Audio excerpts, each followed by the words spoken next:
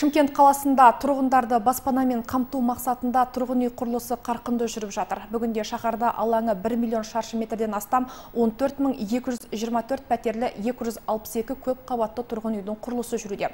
Оның ішінде жеке құрылысшылар есебінен 6147 пәтерлі 126 көп қабатты тұрғын үйде бар.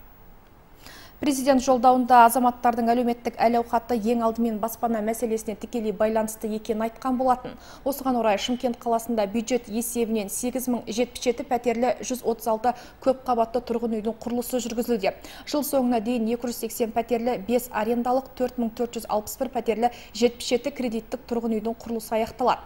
Құрылыс басқармасының мәліметіне сәйкес биыл қалада құрылыс жұмысы бойынша жақсы көрсеткішке қол жеткізген. 11 айда 103-те 3 миллиард теңгеге құрылыс жұмысы жүргізіліп өткен жылдың осы кезеңімен салыстырғанда 159-да 3 пайызға жеткен.